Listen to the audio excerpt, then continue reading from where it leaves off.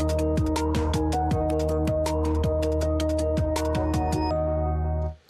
on commence avec le sénateur du jour, Loïc Hervé. Bonjour. Bonjour. Vous êtes donc euh, sénateur centriste de la Haute-Savoie, vice-président euh, du Sénat. On va commencer par évoquer euh, la guerre en Ukraine et le président de la République, Emmanuel Macron, qui était hier à Prague, en République tchèque, et qui continue eh bien, de persister dans sa volonté d'un sursaut stratégique dans la guerre en Ukraine. Hein. Il, y a, il a demandé à ses alliés occidentaux de ne pas, je cite, être lâches face à l'invasion russe de l'Ukraine. Il a raison de persister dans cette direction? La France a toujours raison quand elle euh, exprime euh, dans, le monde entier, dans, le, débat mondial euh, multilatéral, la position d'une puissance nucléaire, membre du Conseil de sécurité. Donc évidemment, la France incarne quelque chose de particulier. Ce qui, me, pose question dans la stratégie du président de la République, c'est à quel point il l'exprime seul.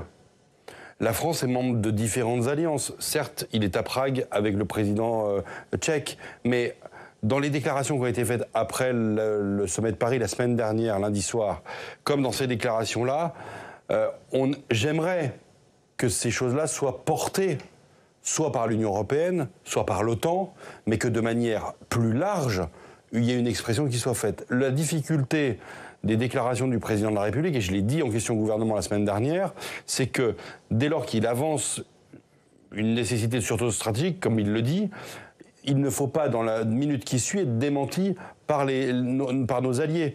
Auquel cas, nous, nous, finalement, nous nous affaiblissons encore davantage. Donc, euh, moi, je ne crois pas qu'on soit lâche avec les Ukrainiens. Il faudra d'ailleurs qu'on livre les, euh, les armements qu'on leur a promis. C'est là-dessus qu'on est jugé. Ensuite, sur l'engagement de, troupes au sol, c'est une euh, modification du conflit. C'est une évolution qui est majeure et quand le président de la République dit qu'il ne veut pas d'escalade, il sait très bien qu'en évoquant cela, euh, il, se contredit quelque part. Donc moi, euh, sur le fait que la France ait un rôle et une parole dans ce conflit, c'est très important et je soutiens ça. Maintenant, sur les options stratégiques, je pense qu'il faut qu'on les ait avec nos alliés, euh, européen et de l'Alliance Atlantique. Et le fait de dire publiquement que eh bien, euh, certains alliés occidentaux ne devaient pas être lâches, est-ce que justement ça peut renforcer euh, cet isolement d'Emmanuel Macron sur la scène internationale? Mais encore une fois, on, on, doit avancer avec nos alliés et pas seul. Et, l'Ukraine fait face à, une situation depuis deux ans qui est une situation qui est assez gelée en, réalité sur le, la question même du, du front. Et donc la, question, c'est maintenant d'honorer nos engagements vis-à-vis euh, des Ukrainiens et, d'être encore une fois de, manière beaucoup plus, de, beaucoup plus collective. Puis il viendra quand même le jour, je sais que cette question pas, ne fait pas l'unanimité, mais il viendra le jour de la nécessité de la reprise d'une de discussions d'ordre diplomatique. Parce que. Euh, Vous croyez vraiment à la solution diplomatique avec Vladimir Poutine? Je ne pose pas la question en ces termes. Nous avons des élections américaines à la fin de l'année avec la possibilité, vous l'avez dit d'ailleurs, euh, euh, de la réélection du président Trump. Quelles sont les conséquences, quelles seraient les conséquences de la réélection de l'ancien président américain sur ce conflit? Donc nous devons aborder les questions de manière euh, euh, encore une fois, la plus, le plus large possible sur la question militaire, évidemment, le soutien à l'Ukraine, mais aussi sur les questions de la nécessité de sortir. Vous savez que c'est des centaines de milliers de morts, cette guerre. Hein. Donc il faudra bien, à un moment donné, qu'on arrive à en sortir. Donc si Trump euh, revient au pouvoir aux États-Unis et euh, eh bien, met fin à l'aide américaine à l'Ukraine, est-ce que ce sera la fin également de l'engagement européen dans cette aide militaire à l'Ukraine? Je ne le pense pas, mais on doit aussi se préparer à cette hypothèse-là. Parce qu'on ne peut pas faire des déclarations qui sont celles du président de la République, et puis en même temps ne pas continuer à avoir l'assurance que les États-Unis sont toujours euh, en appui euh, de, de, l'Ukraine et en appui de notre alliance. Enfin, ces, questions-là, elles sont, elles sont pas anodines, et j'aimerais qu'on ait plus de collectifs dans la manière dont nous exprimons euh, les choses. Et justement, dans cette démarche collective, le président de la République reçoit euh, demain à l'Élysée à huis clos les euh, différents chefs de partis politiques français sur ce sujet de la guerre en Ukraine. Est-ce que, selon vous, il peut vraiment convaincre notamment l'opposition eh bien, de ne pas exclure cette option d'envoyer des troupes au sol en Ukraine? Encore une fois, euh, cette affaire de l'envoi des troupes au sol, elle a été annoncée dans la foulée euh, du sommet de, lundi dernier, donc il y a une dizaine de jours. Et euh, alors qu'il a expliqué qu'elle ne faisait pas l'unanimité de la communauté internationale. Elle ne fait pas non plus l'unanimité dans la classe politique, puisque nous avons appris à la télévision, à 23 heures, que cette hypothèse avait été évoquée. Donc je pense que c'était nécessaire qu'il reçoive d'ailleurs les deux anciens présidents de la République.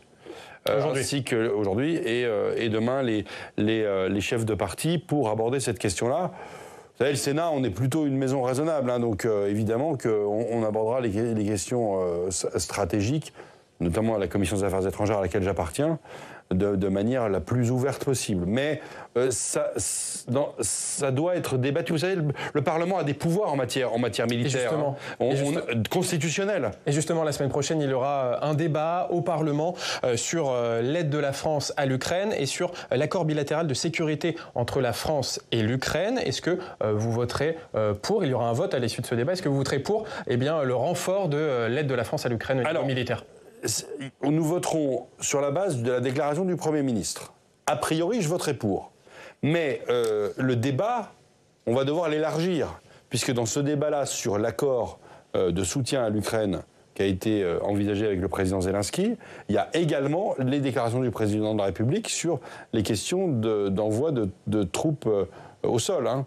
Donc ça, ces questions, ces questions-là, donc le débat va être beaucoup plus large et nous verrons, notamment avec dans nos groupes parlementaires, j'appartiens au groupe centriste, l'occasion de débattre avec mes collègues de cette deuxième question qui sera très présente dans le débat. Allez, on va regarder ce qu'il y a euh, dans l'actualité euh, du Sénat, puisque hier, les sénateurs ont auditionné Gérald Darmanin, le ministre de l'Intérieur, euh, sur le dispositif de sécurité des Jeux Olympiques Paris 2024. On en parle avec notre journaliste parlementaire Steve Jourdain.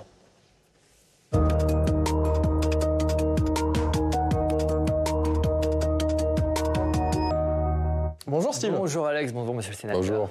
Alors euh, Steve, pour parler des Jeux Olympiques, eh bien hier, euh, Gérald Darmanin était devant la commission des lois du Sénat. Ouais, il était comme à la maison, Gérald Darmanin, le ministre de l'Intérieur, hein, qui est régulièrement entendu ces dernières semaines par les sénateurs. Le Sénat qui souhaite donc contrôler le dispositif de sécurité mis en place à l'occasion euh, des Jeux Olympiques. Première chose à savoir, Alex, il n'existe actuellement pas de risque spécifique sécuritaire vis-à-vis des JO. Écoutez Gérald Darmanin. Aujourd'hui, euh, aucune information n'est remontée euh, auprès de moi qui prévoit une menace particulière qui touche euh, les Jeux Olympiques en tant qu'événement, en tant que grand événement, même si un milliard et demi de téléspectateurs pour la cérémonie d'ouverture donne évidemment sans doute des envies à ceux qui ont envie de faire connaître telle ou telle revendication. Autre information, plutôt confirmation, la cérémonie du 14 juillet n'est pas annulée mais simplement euh, déplacée. L'intégralité des festivals sont maintenus cet été. Et puis un dispositif de sécurité hors norme euh, va être mis en place pour la cérémonie d'ouverture. Accrochez-vous bien euh, Alex pour ce qui sera la première cérémonie d'ouverture organisée en dehors d'un stade de l'histoire. 326 000 spectateurs sont attendus sur les quais de la Seine, l'équivalent de 4, de, de 4 stades de France. 50 000 personnes seront dans les fan zones, plus de 200 000 personnes vont euh, suivre la cérémonie depuis euh, les immeubles qui, vont, euh, qui entourent la scène pour sécuriser tout ça. 45 000, 45 000 forces de sécurité seront mobilisées. Si vous souhaitez vous enfuir, Alex, le jour même, prenez vos dispositions. En avion, ça risque d'être compliqué. Écoutez. Nous arrêterons la circulation aérienne à 150 km de Paris, donc Roissy, Orly, Beauvais, enfin tous le Bourget, vers 19h pour la reprendre après la cérémonie d'ouverture. Je pense que là aussi, c'est assez historique que nous arrêtions totalement les aéroports. Et puis à noter que les 206 délégations olympiques ont accepté de défiler sur la Seine. On parle d'un total de 94 bateaux qui feront le trajet de la gare d'Austerlitz euh, au Trocadéro. Elles seront encadrées euh, par 86 bateaux euh, chargés notamment de sécuriser le parcours, Alex. Et puis les autorités françaises vont passer tout le monde au peigne fin. Oui, pas de menace, hein. on l'a entendu caractériser pour le moment, mais Gérald Darmanin a quand même annoncé qu'un million d'enquêtes de sécurité allaient être réalisées. Ça concernera notamment les participants, les les athlètes, les agents de sécurité ou encore les journalistes. Loïc Hervé, est-ce que vous craignez une dérive sécuritaire? Écoutez, je crois que d'abord le Parlement est dans son rôle. Hier, dans les murs du Sénat, vous aviez euh, Amélie Oudéa-Castera qui répondait aux collègues dans l'hémicycle sur le fait de savoir si nous étions prêts pour les Jeux Olympiques, notamment sur les questions d'infrastructure. Le ministre de l'Intérieur était devant la commission des lois pour euh, évoquer euh, les questions sécuritaires. Et avec deux collègues, nous sommes rapporteurs d'une mission sur la lutte anti-drone. Donc je vous réponds sur la question sécuritaire. Mhm. Euh, c'était utile que le ministre fasse un certain nombre de précisions, et c'était utile d'ailleurs que la commission des lois, qui est en particulier euh, vigilante sur les questions euh, de liberté publique, pose ces questions-là. Non, je ne crois pas qu'il y ait de risque de dérive sécuritaire, mais dans un exercice comme celui qui a été vécu hier, par la venue de Gérald Darmanin devant une commission parlementaire, rien que ça, ça permet d'être certain qu'on ne fasse pas n'importe quoi à l'occasion de ces Jeux Olympiques et que toutes les garanties soient apportées en termes de sécurité et également en termes de préservation des libertés individuelles. Ce que dire, c'est qu'il y a un contrôle du Parlement. Alors la jauge, la jauge pardon, a été baissée pour la cérémonie d'ouverture. On est passé de 600 000 à 326 000 personnes qui assisteront. C'est une baisse de, l'ambition initiale? Non, parce que l'idée, d'avoir euh, une, euh, vous savez, c'est les, les 100 ans des Jeux Olympiques, hein, euh, en particulier les Jeux Olympiques de Chamonix, moi qui suis de, Haute-Savoie, mais vous avez cet axe fluviale qu'est la Seine, le, ce choix qui a été fait de faire une, une cérémonie d'ouverture hors les murs, et évidemment, euh, c'est beaucoup plus facile de sécuriser, un, de sécuriser un stade, comme ça a été fait à Londres, que de sécuriser un, linéaire. Oui, mais on nous avait promis une grande fête populaire. Oui, bah, euh, écoutez, on a des contraintes, il y a des contraintes de sécurité. si le ministre annonce ces effectifs-là, je pense que c'est plus raisonnable de faire, de faire ça que d'ouvrir les quais à, des, à, à, une population sans contrôle. Donc je pense que ce qui a été choisi est finalement un, moyen terme tout à fait acceptable. Juste, donc, pour revenir sur cette idée de, grande fête populaire, on pensait que tout le monde pourrait y participer. Finalement, ce sera sur invitation. Euh, les autres devront payer. C'est pas très populaire. Euh, c'est un peu une fête pour privilégier. Est-ce qu'on peut dire ça comme Mais ça? vous savez, vous devez, euh, sur un événement comme celui-là, qui est un événement mondial, avoir une forme de conciliation.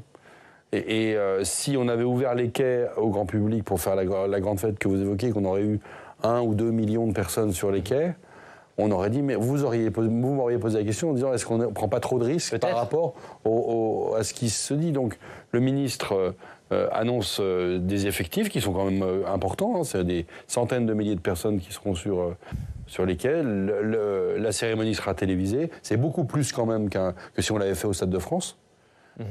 moi, j'ai assisté à la cérémonie d'ouverture de la Coupe du Monde de rugby l'année dernière. Voilà, on est, il y a que vous avez 80 000 personnes qui peuvent y accéder. Là, ce sera davantage et c'est bien ainsi. Une dernière question euh, sur ce sujet des Jeux Olympiques, sur l'affiche euh, des Jeux Olympiques qui a été euh, dévoilée en début de semaine, l'affiche officielle, et elle a fait réagir notamment à droite et à l'extrême droite, hein, car il ne figure aucun nouveau drapeau, aucun drapeau tricolore, il n'y a pas la croix chrétienne sur le dôme des Invalides sur cette affiche. Est-ce que vous aussi, vous dénoncez cette affiche? Alors Moi, je ne hurle pas avec les loups, j'aime bien la création artistique je trouve toujours euh, un, peu, euh, un peu curieux ce, type de débat. Euh, j'avais assisté à la cérémonie franchouillarde de la Coupe du Monde de rugby. Je n'avais pas trouvé ça formidable. Sur des choix artistiques. Bon, le Dôme des Invalides, c'est un tombeau. Le tombeau de l'empereur Napoléon Ier. C'est une cathédrale, la cathédrale du diocèse des armées, on l'oublie. Et c'était pas malin de d'omettre ce détail. Je trouve, je trouve c'est pas malin de la part de l'artiste. Voilà. Après, je vais pas aller au-delà, mais euh, mais bon, voilà, c'est toujours un peu un peu vexant. les invalides, c'est pas qu'un élément de paysage à Paris. C'est aussi un élément symbolique fort de l'histoire du pays.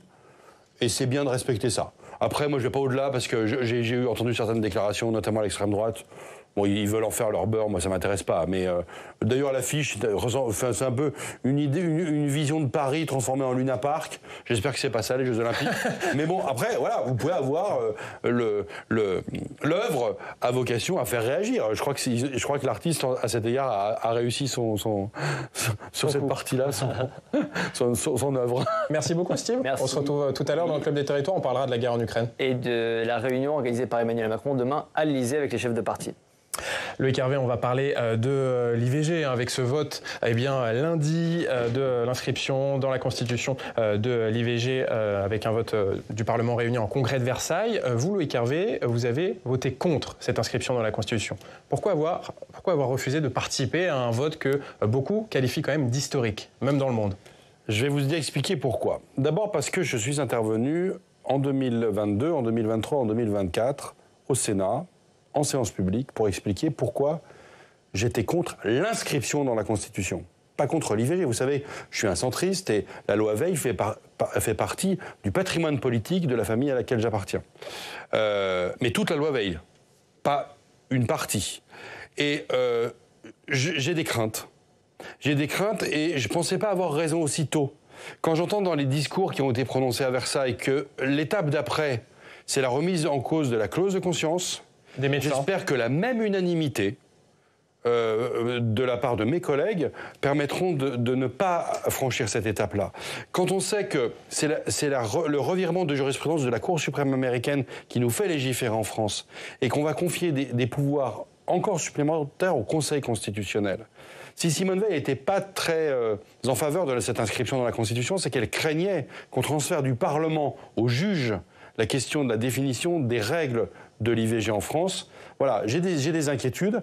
Et ayant eu une, Vous savez, on reproche souvent aux politiques de changer d'avis avec l'air du temps. Moi, je, pense que cette inscription va poser des difficultés. dans les années qui viennent. Mais maintenant que l'IVG est inscrite dans la Constitution, enfin, les, juges euh, appliquent la Constitution, donc là c'est inscrit, cette liberté est renforcée. C'est assez clair en fait. En fait, ce choix de phrase c'est la quatrième rédaction qui a été euh, retenue, et c'est la rédaction qui a été retenue au terme d'un accord politique qui va de Mathilde Panot à Marine Le Pen, pour que tout le monde la vote. Et en fait, quand vous écrivez le texte constitutionnel, vous devez vous poser la question des conséquences que ça va avoir dans le droit. On n'a pas la question en France de, l'IVG euh, qui n'est pas remise en cause, mais elle est remise en cause l'IVG en réalité sur le terrain. On a fermé 130 centres IVG. Pour une, pour une femme qui veut avoir recours à un IVG dans un certain nombre de quartiers ou dans un certain nombre de territoires ruraux, c'est compliqué. Donc ces questions-là, elles ont été abordées de très loin euh, à, Versailles. Il y, a eu de très beaux discours, même, même de personnes qui étaient favorables à cette inscription. Et il y a eu des discours qui, moi, me font beaucoup être beaucoup plus inquiet. Et vous êtes attaché à la clause de conscience des médecins Pour certains, c'est la consécration de la loi Veil et des 49 ans de la loi Veil et que c'est une forme de, de fin, pour d'autres, ça n'est que le début d'un programme de, de, remise en cause de l'équilibre de cette loi Veil. Pardon de le dire comme ça à vos téléspectateurs qui doivent se dire mais euh, il ergote, il trouve des, En fait, c'est pas ça. C'est très important ce qui s'est passé lundi. Et, et, d'ailleurs, vous parliez de Simone Veil. Euh, qu'est-ce que vous pensez, euh, là encore, d'une autre affiche, hein, une affiche qui a été produite par la France Insoumise et qui associe sur la même image Simone Veil et Mathilde Panot, la présidente des députés insoumis, autour de cette question de l'IVG? C'est indécent. C'est indécent. Pourquoi? pourquoi? Parce que le courage euh, euh, dont, Simone Veil a fait preuve en 74 en 75 pour porter cette loi n'a rien à voir avec le discours de Mathilde Panot lundi à Versailles. Il faut, arrêter d'avoir des personnes qui se prennent pour des autres. On avait l'impression que certains étaient euh, une espèce d'hybride entre Simone Veil et Robert Badinter. C'est pas du tout le cas. Il fallait être courageux pour abolir la peine de mort. Il fallait être courageux pour, dans notre pays, euh, euh, dépénaliser euh, l'IVG, l'avortement dans, dans les années 70 et, apporter cette loi à notre pays. Simplement, c'est pas le même courage dont on peut. On peut pas comparer les choses, quoi. Et donc, je trouve que, que, cette récupération politique par la France insoumise de, de l'image de Simone Veil est indécente. On va regarder l'actualité dans votre territoire de la Haute-Savoie, puisque on part pour euh, Annecy retrouver euh, Julien Estrangin, directeur des éditions euh, Savoie, Haute-Savoie et du département de l'Ain, du journal Le Dauphiné Libéré. Bonjour Julien. Bonjour. Julien, aujourd'hui, vous relayez dans votre journal l'inquiétude des acteurs économiques locaux face au gel de nombreux projets. Oui, tout à fait. Il y a une tribune qui a été publiée hier soir et dont on se fait euh, l'écho, euh, qui a été publiée à l'initiative d'un certain nombre de professionnels de l'économie, la CCI, la Chambre de métier, le Syndicat national du décolletage. Ils sont une dizaine en tout, le BTP également. Ils sont une dizaine et ils s'inquiètent. Ils s'inquiètent du blocage d'un certain nombre de, projets dans le département de la, de Haute-Savoie, mais je pense que ça pourrait être dupliqué ailleurs, euh, du blocage d'un certain nombre de projets à cause des multiples recours qui existent. Je voulais avoir la réaction euh, du sénateur Loïc Hervé après cette, après cette tribune qui commence à, tourner euh, pas mal et donc on a relayé effectivement dans nos éditions de, Haute-Savoie de ce matin. Bonjour Julien, j'ai lu euh, cette tribune avec beaucoup d'attention et je partage une partie du constat. Il nous manque une stratégie sur un certain nombre de grands sujets, qu'il s'agisse du logement, qu'il s'agisse des infrastructures. Il manque à ce département une stratégie. En revanche, là où je suis en désaccord avec euh, ce qu'ils peuvent expliquer, c'est qu'en fait, on met tous les projets, quels qu'ils soient, quels que soient les maîtres d'ouvrage, un peu dans le même panier en se disant, mais il y, y, a ceux qui portent des projets, et puis il y a ceux qui sont contre. C'est un petit peu plus compliqué que ça. Et moi, pour m'être opposé, par exemple, à la construction d'une arena culturello-sportive dans notre département pour un coût de 140 millions d'euros, ou pour mettre opposé au massacre du plateau de Senise, qui est un, plateau à 1700 mètres d'altitude, qui, est, un plateau naturel, j'ai encore quand vous parlez de massacre, quand vous parlez de massacre, massacre parce que urbanisation, euh, infrastructure touristique, etc., qui était envisagée. J'ai quand même le droit d'être contre, de m'exprimer et de, et, de, vouloir des projets plus raisonnables, plus respectueux de l'environnement et, et, plus qui correspondent davantage à la Haute-Savoie. Et par ailleurs, je suis un soutien euh, des projets ferroviaires, du projet autoroutier du Chablais, d'un certain nombre euh, de retenues collinaires dans des stations de, de sport d'hiver. Et je ne suis pas équivoque. Donc je voudrais pas qu'on ait une forme de manichéisme en disant il y a la Haute-Savoie qui bouge, qui veut avancer, etc. Et puis d'un autre côté, il y a ceux qui, qui sont contre tout et qui empêchent ça. C'est beaucoup plus compliqué que ça. Et la réponse, les euh, signataires de ces tribunes, ils l'ont trouvé, c'est la stratégie. Et pour avoir une stratégie, il faut une méthode. Et cette méthode, elle repose sur le collectif. On ne peut plus avoir des projets qui sont portés par une seule personne ou par un nombre réduit de personnes qui veulent euh, euh, mettre en œuvre une, euh, des, infrastructures de dimension délirante dans un département qui est déjà en surchauffe. On est à la frontière suisse, on a un foncier qui est contraint, donc trouvons des solutions de logement, de mobilité, d'équipement pour les Hauts-Savoyards, mais évitons vraiment la surchauffe et, vraiment ces, délires de, mégalomane qui, finalement euh, euh, coupent la, Haute-Savoie de, projets qui seraient des projets raisonnables et acceptables pour tout le monde. Julien, vous aviez, une question vous, ne vous sentez pas visé par, cette, par ce type de, déclaration qui finalement bah, peut vous assimiler à ceux euh, qui euh, ne veulent rien faire et qui euh, pourraient avoir tendance, je ne sais pas, à aller bloquer les chantiers autoroutiers, ou peut-être plus tard s'opposer aux chantiers qui devront être menés pour les Jeux Olympiques de 2030, par exemple. J'entendais que vous parliez tout à l'heure de, l'affiche des JO de 2024. Voilà, vous ne vous, vous sentez pas assimilé à ce type de réaction? Ah ben j'espère que je suis pas visé. Parce que sur la question de, du, de, du, projet Haute-Savoie Arena, j'ai fait sept contre-propositions. Donc un, vélodrome. Oui, un vélodrome avec euh, tout un tas de, choses autour, etc. Euh, j'ai fait sept contre-propositions. En 14 mois, je n'ai pas eu accès au dossier. En 14 mois, le préfet n'a jamais organisé la réunion qu'il devait faire et que la ministre lui a demandé.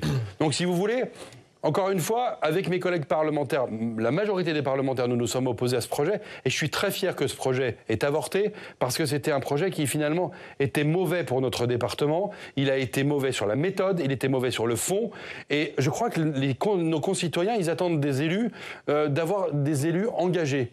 Après, moi, je répondrai, hein, euh, si, si c'est euh, euh, notre position qui est en cause, je répondrai sans difficulté à ceux qui ont signé cette tribune et je les rejoins dans la volonté d'avoir une stratégie collective pour aborder les questions dont les Hauts-Savoyards ont besoin. Et à cet égard, et, vous le savez, Julien Estrangin, je suis un, interlocuteur présent sur le terrain quand c'est nécessaire et je serai à leur, à leur contact et, et en débat avec eux euh, dans, avec l'amitié cordiale qui caractérise la relation que je peux avoir avec les acteurs économiques du département. Euh, merci beaucoup Julien Estrangin pour euh, votre intervention. On va regarder la une du Dauphiné libéré aujourd'hui avec ce titre Vercors, le VTT sauvage en ligne de mire. Merci beaucoup Julien.